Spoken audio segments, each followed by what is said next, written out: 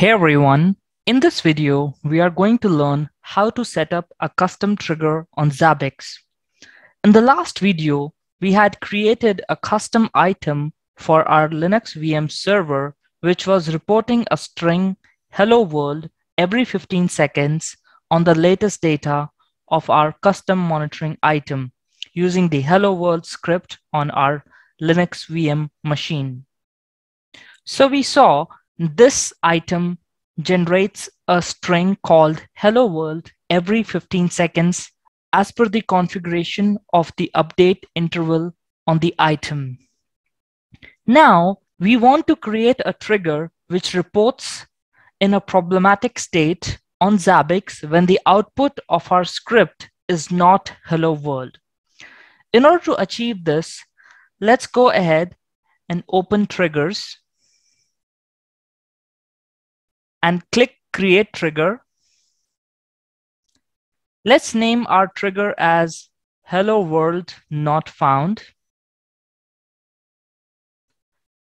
We will choose the severity as high and we will click on add here to create our Zabbix trigger expression.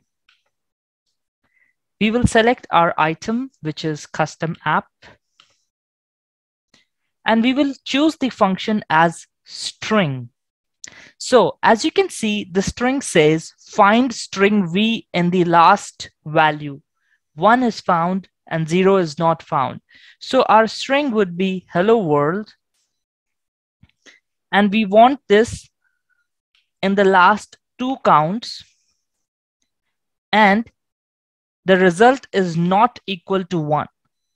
So basically we are telling Zabbix that if the hello world string is not found in last two polls, then this trigger should go in a problematic state.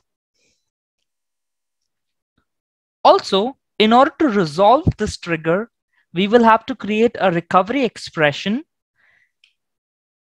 and select the item once again. And this time, I'm going to choose a function called count. And I want to check the last five polls and it's going to check hello world. And the operator is going to be like. This being a string, we are going to use the like operator. So there are various Zabbix functions which you need to use in order to create triggers on Zabbix. And you must check out the Zabbix documentation for it. I'll share the link on the description for the Zabbix documentation. We can leave the time shift as blank and we are going to keep the result as more than three. So in this recovery expression, we basically want Zabbix to check the last five polls and if it finds greater than three polls which have hello world string on the output, it's going to resolve our trigger. I'm going to put a nice decent description as well for this trigger.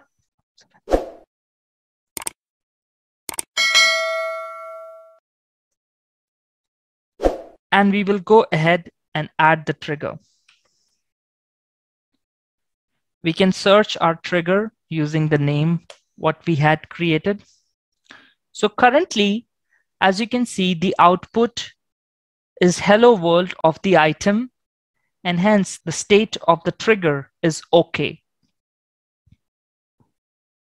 Now we are going to tweak our script so that the trigger goes into a problematic state. Let's go ahead and open our Linux machine and edit our script to something like hello.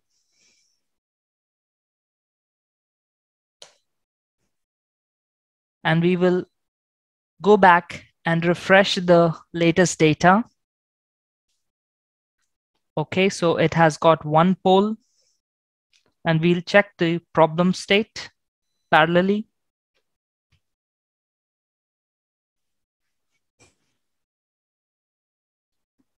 Okay, so in two polls, it did not find hello world. So this should be in a problematic state now.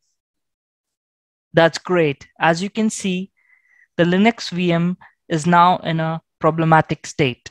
You will also be able to see this in a problematic state here.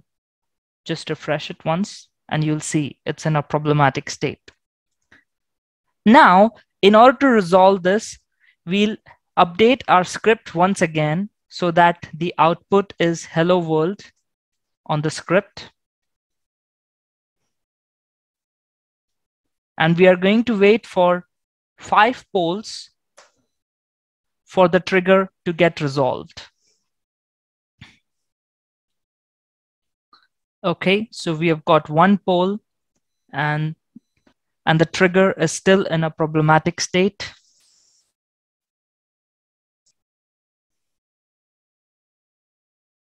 So it's going to take roughly a minute for four polls to happen because it's happening every 15 seconds.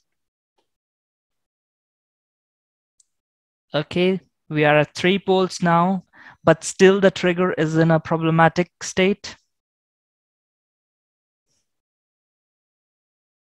Okay, so we are at four polls now, which is greater than three.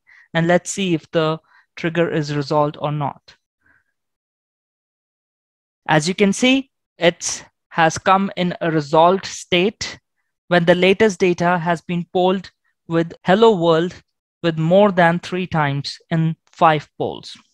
If you would like to learn about more Zabbix functions, please feel free to comment on the video and I would like to create videos on those Zabbix functions. I hope this has been informative for you. I would like to thank you for viewing.